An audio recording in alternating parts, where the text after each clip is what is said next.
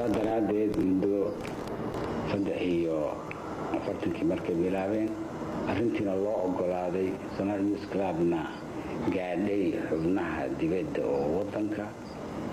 Ayay markii dambe waxay u ekaatay in club waa hadda meel yar oo shirkolaah oo aan weyneyn in la weyneeyo oo laga dhigo wixii xisbi siyaasi ah s y l meeshii cda ku tiil l baa laga dhigay somaali youth league inay markaas noqotay rasmiyan xisbi siyaasi ah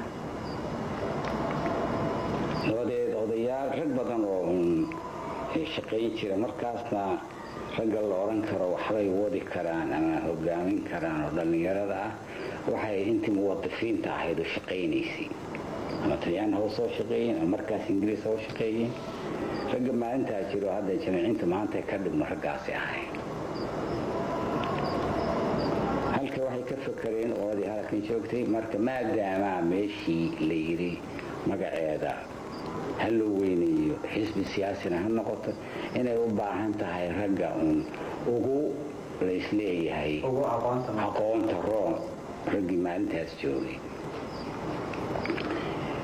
rag badan oo cabdulaahi ciise ka mid ahaa oo markaa ka shaqayn jiray beledweyne in shuqulka laga soo saaro halka la keeno oo ku xigsado generaal secretarki markaas joogay aniga oo markaa jooga ceelbuur aniguna aan soo kacay dhowr nin oo kaloo hawl haysayna shuqulka inay sii daayaan ku tabaracaan inaan maxaa jira haddii loo shaqeeyo dowladdii waqtigaan lateere ama sideedaba siyaasada ayaan iskeenayn in u shaqeeya xukuumad inuu ka ahaado xisbi siyaasi oo wadanka siyaasadiisii ama lid ku aaba nimanka maalintaas xalay marka ama waxay ahayd waqtigii ugu horreysay ee idinku aada maqashaan in xisbi laga dhisay laga furay dalka. Xisbigu s y c-du wax iska jiray ahayd lana ogaaday lana ballaashay oo saddex iyo tobankii xamar bay ku ballaarsheen degmooyinkii gaadha iyo gobollada tan siyaasay ahayd markii dambe qoladii halkan jentraalka ay fakareen oo yidhaahdeen meeshii maadaama aynu ka dhignay s y l inaan ballaarino. Raggana loo eego aqoontiiyo dhowrna aan laga maarmin. Ama dibadda u baxo inspector ahaan ama secretary general ama raggii shaqaynayay maxamed xaaji saleebaan baa ka mid ah عبد الله يقول حق. انت حمل تشوفت مركز سياسيين رجل لم يذهب شقيني صدح يتوان كعبو إيه كنت تشنترالي. كنت يقول نوض أهين مركز دم حق الوصول نخلي. هيا لك يعني دي مركي أساس إيه، لا لسكوا فغي وحال قف فروع دولا مركي هوري صومالية كنت ما لبضن بعد مركز وحامو دي بدا مبرانشو يكو يرنو أي كم إذا عدن ka mid ahayd dhulka soomaalida oo ingiriisku xukumi jiray xagakan iyo barbarkan kenya dibadaha xataa reer england ruuxoodu calaamadii muujiyeen dabadeed xisbigii waa ballaartay waa weynaaday magac buu yeeshay soomaali dhallinyaradeedii badanaaba qaar wixii reer magaala uma kala harin saasuu ku dhismay s y l magaca la yidhaahdaa kuna gaaray intihadii ilaa dowladnimo laga gaaro cawaale adigoo mahadsan waxaa jirta in qof walba uu halganku meel ka soo qaatay ama qayb uu kaga jiray. Haddaba adiga qaybta halganka kaaga aadanayd maxay ahayd ama waxyaabihii aad markaa ku qaybsanayd? Wallaahi anigu waxaan ahaa qoladii dibadda looga yeeray. Banaanaatan magaalooyinka dibaddaa jira sidaan sheegahayay dhowr nin aanu ahayn kale xamar bay joogeen waxaan hadda ka xasuustaa raggii dibadda looga yeeray oo lagama maarmo inay ku soo biiraan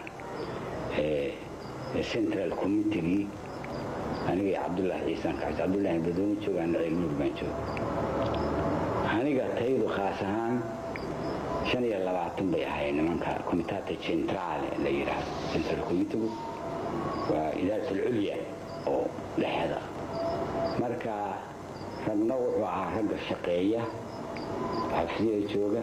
Ragna rag wuxuu ahaa muqadifiiniska ah oo hamiinka la imaanaya yimaada ragna wuxuu ahaa ragga dibadda loo rabo inay tagaan oo howlaha dibadda laga qabanayo wadanka ama gudihiisa ama dibadda loo dira. Marka shardi waxaa ninkaas inuu ka madax bannaan yahay. Oo difnimo aan leegada ahayn oo aan shuqul kaloo dowlaama nin uusan ahayn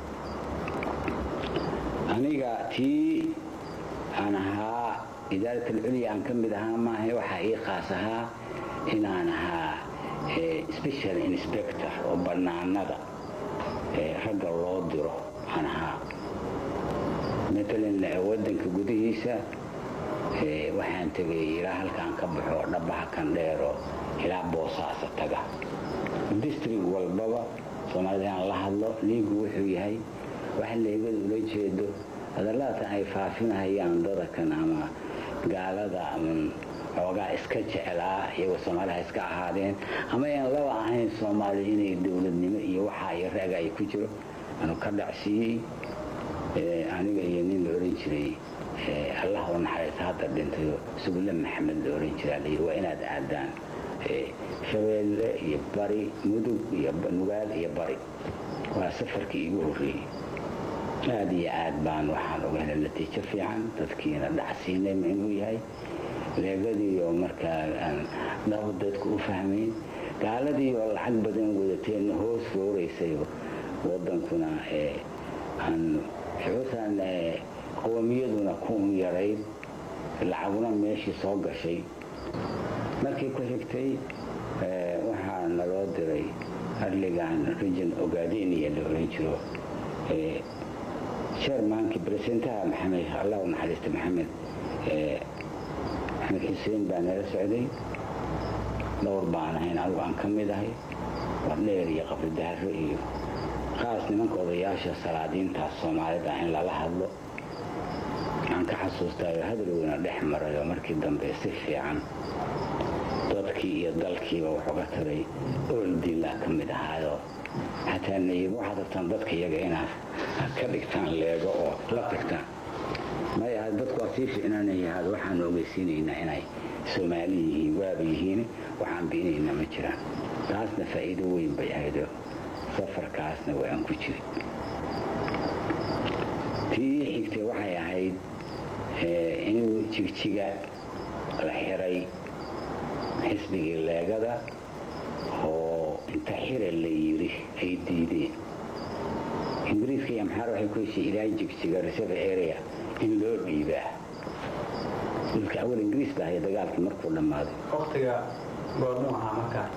Waxay saddex iyo waxay ahayd lix iyo afartankii. Lix afartankii ilaa toddoba iyo afartankii. In loo dhiibo oo lagu wareejiyo etoobiya qoladii xagga joogtay oo leegada ahayd way diideen. Ingiriiskiina hadda niman la soo amray ahayn saraakiil waxay ilaa wa ilaa waxay noqotay xisbigii iyo qoladii xukuumadda haysay meeshii inay wareejintii dhibaato inay noqoto amxaaradii waxay yidhaahdeen iyadoo leego nooshay calankii bayna ka taagteen oo daarta u suran. Aduu london baa la gaartiyey amarka waxnada komitata centrale xamar oo s y l inay wafda dirto meeshii tagto oo dhiigga baajis. Annaga nin waa naloo ka dilay nin gaalwaad nin waa dilnay meeshii dhiig baa ka dhacay rag waa la xirxiray dhaawac baa dhacay. Halkaanu ka tagna group annaga oo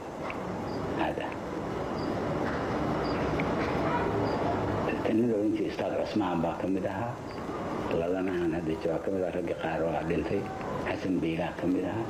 Axmed cadaawa ka mid ahaa iyagaasaa meeshii tagay sheekh maxamed ninka la yidhaha sheekh maxamed cawaadi waa u taqaan sheekh maxamed baa ka mid ahaa rag fiican oo kontata centraal ah ama inspektorayaal ahaa baa meeshiina loo diray meeshii haddii waxay noqotay ingiriiskii leegadii inuu yidhi meeshii khasabay aniga ota inaan dhiibaa mana hayn karo waana laydin laynaya inaad meesha ka insixaabtaan oo meel kaloo dalkan annagu aan hayno oo brit somalilan la oran jiray meel kaad doontaan baad ka digi kadhaan laakiin hadda meeshii qoladii amxaarada goortay arkeen leegadii inay meesha ka dhaqaaqi weyday waxay yidheen ingiriiskii soo geli mayna iyadoo xaraka leega jigjiga ku jirto.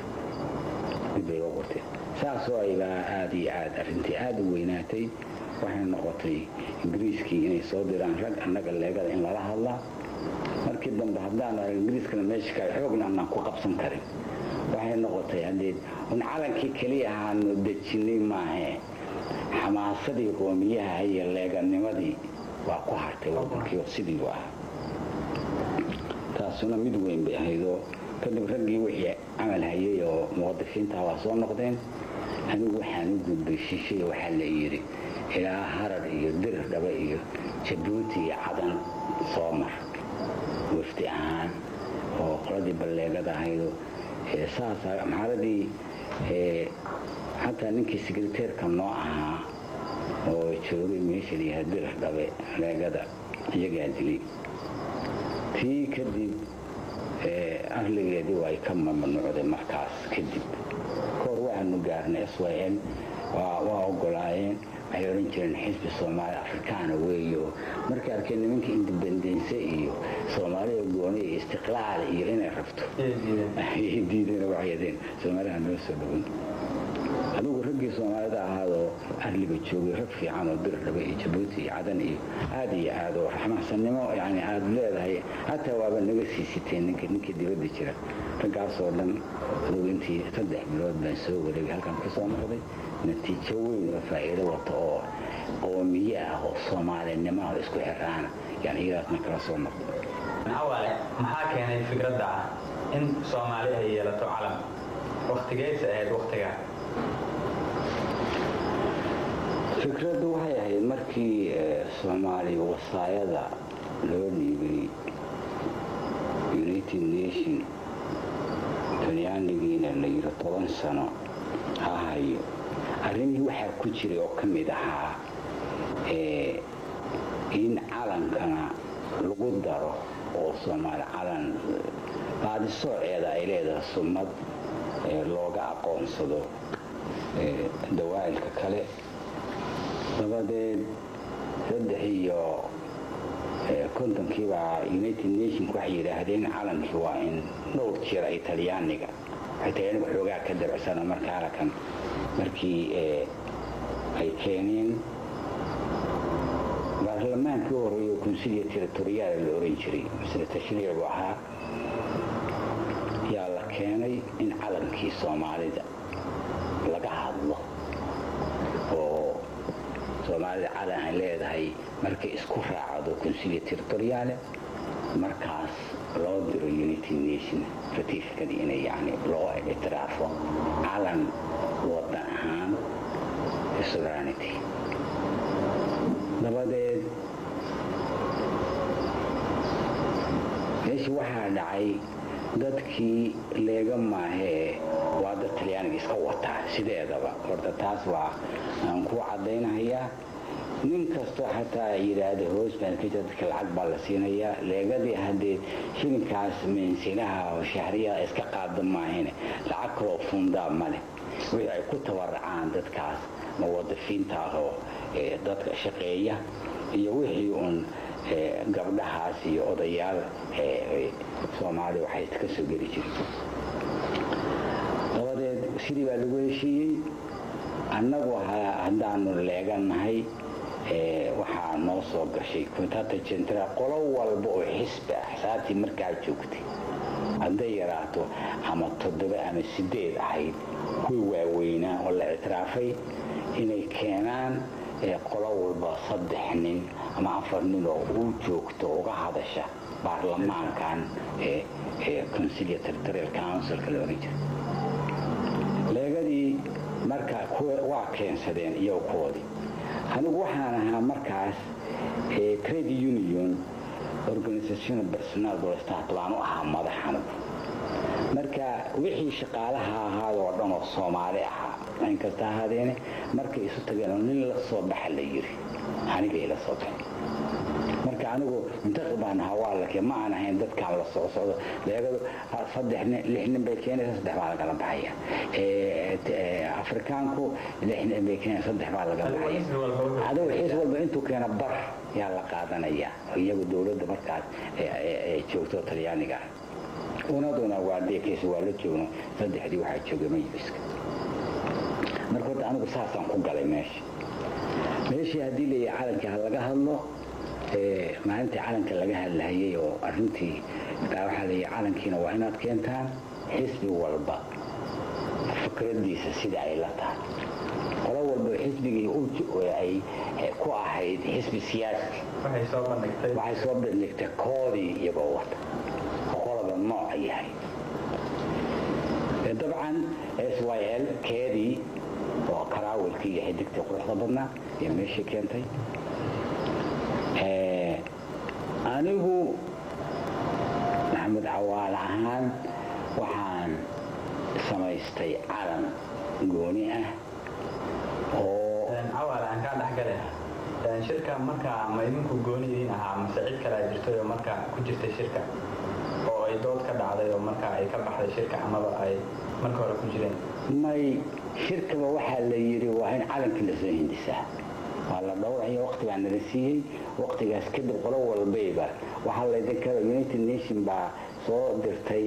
Adeeg waxay yidhaahdeen waa kan rag lagu joogay waa soomaaliya waa in calankii ay isku raacaan oo la garta ay gartaan. Saasaa naloo sheegay annagii baa marka nala yidhi keena calan. Annaga calankii anigu aan keenay wuxuu ahaa calan anigu aan nima ila lahayn.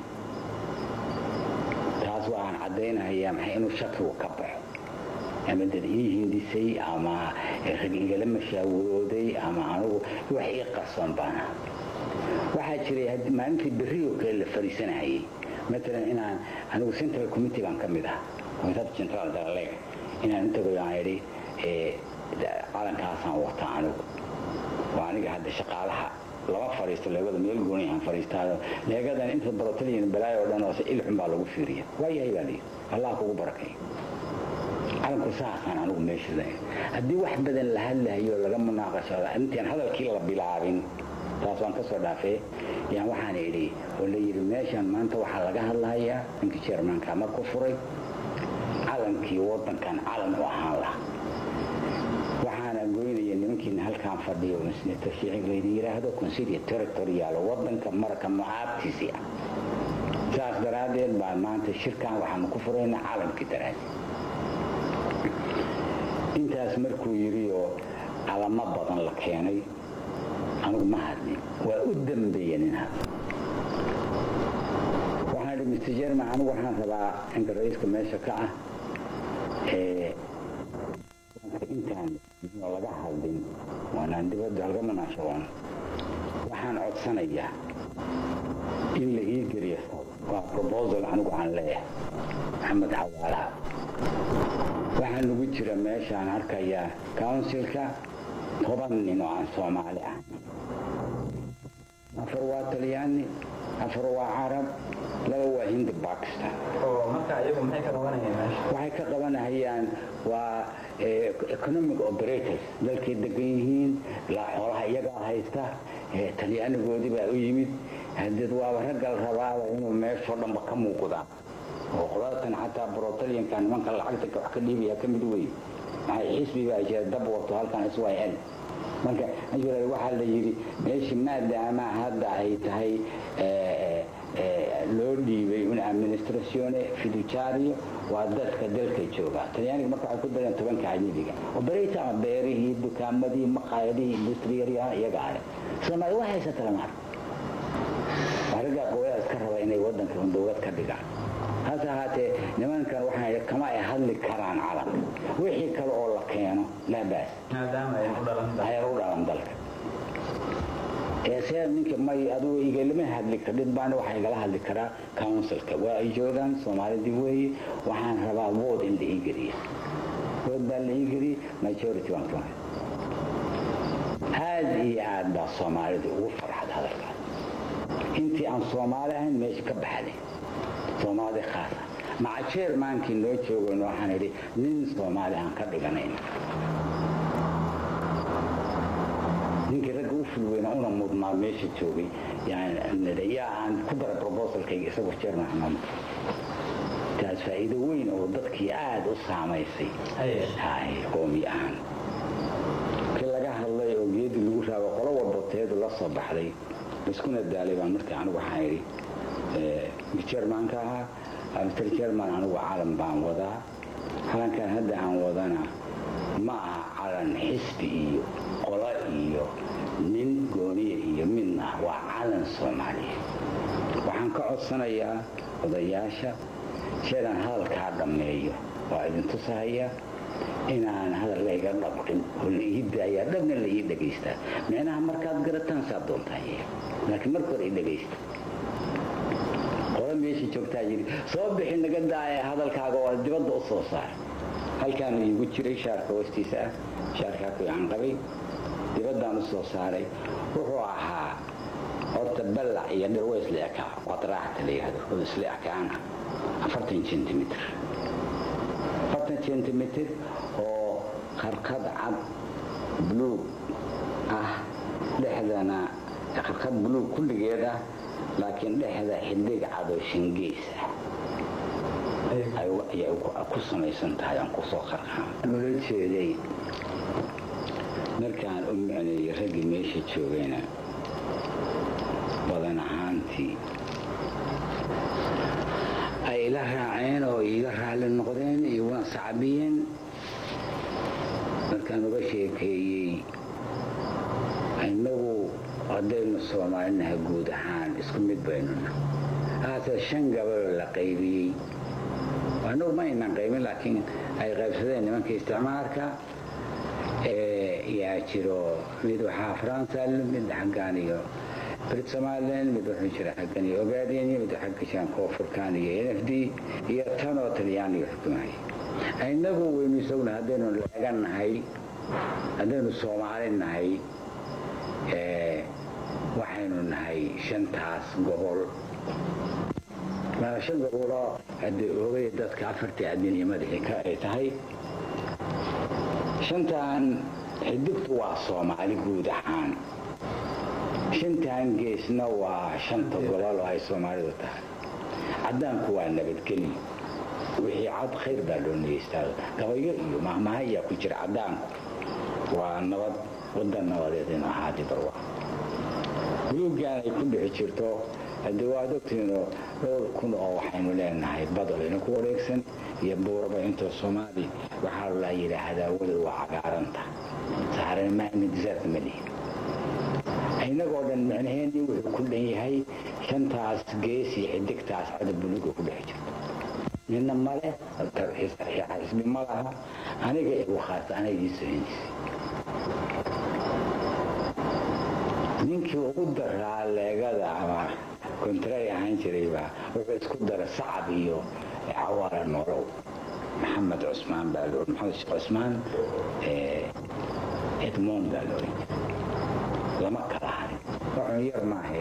Intii kale meeshaasaa laysku raacay calankaanu inuu calanka soomaalida waxaa dhacay oo ka dambeeyey guushaas markay dhacday qoladii talyaaniga ahayd oo meesha markaa haysay aad bay uga xumaatay arrintii waxay raad raadiyeen si calankaas laysku raacay ay usan u noqon kii waygu ay soo hindisiin baa jira. Maala waxaa jiray xisbi keenay tricolore saddexdii talyaaniga ahayd aan saa isugu xigin laakiin ay isku qaldeen.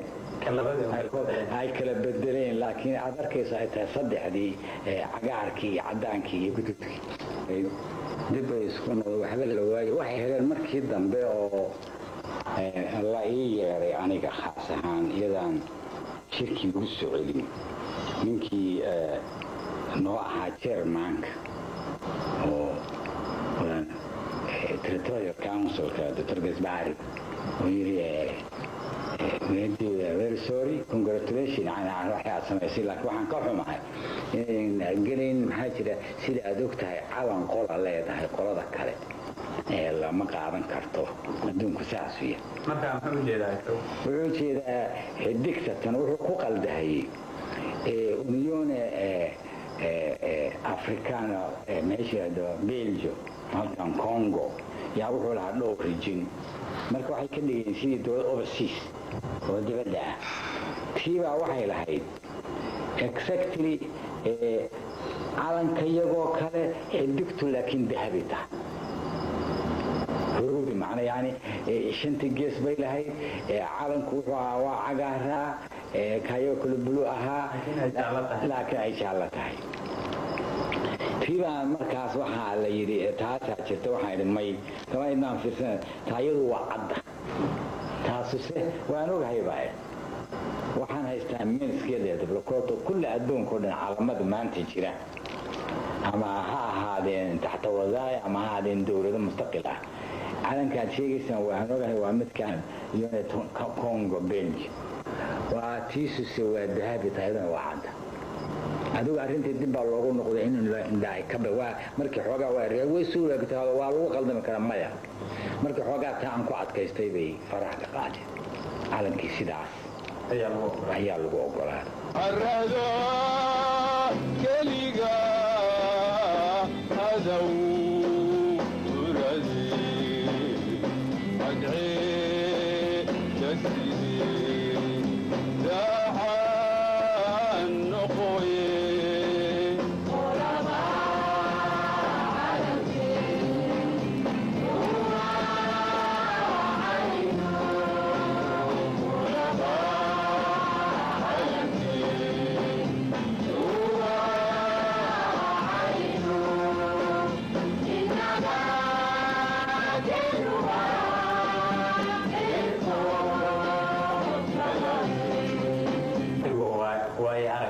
muddo dheerna ku soo jiray halgan soona arkay dhibaato gumaysi.